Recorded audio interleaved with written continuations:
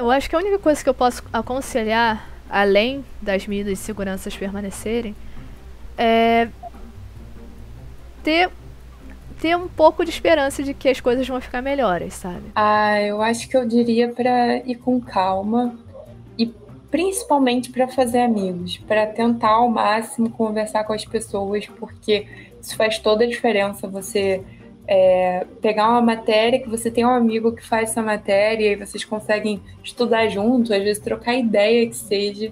Tipo, você tem que apresentar, tipo, oh, sou, quem sou eu? Por exemplo, quando eu no grupo, eu tenho que falar que eu sou a eu, aí vocês têm que me corrigir qualquer coisa para quando eu faço uh, o trabalho não está certo, ou tem que adiantar alguma coisa, vocês me ajudam. Aproveitar o que esse o potencial que a faculdade tem sabe? E, e, tentar interagir mais, na medida do possível. Vai no seu tempo, vai na.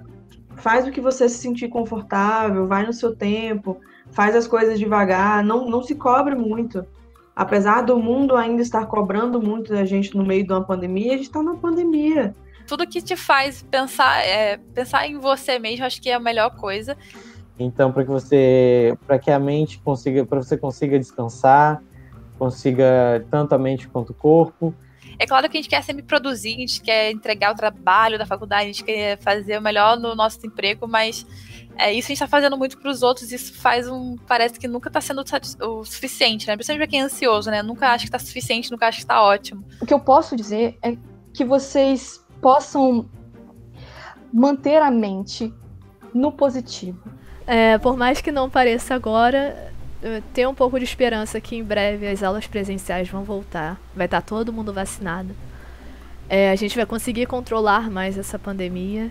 E eu sempre brinco nas aulas, falo assim, gente, quando eu tiver a, próxima, a primeira chopada depois de acabar a pandemia, vai ser muito doido, assim.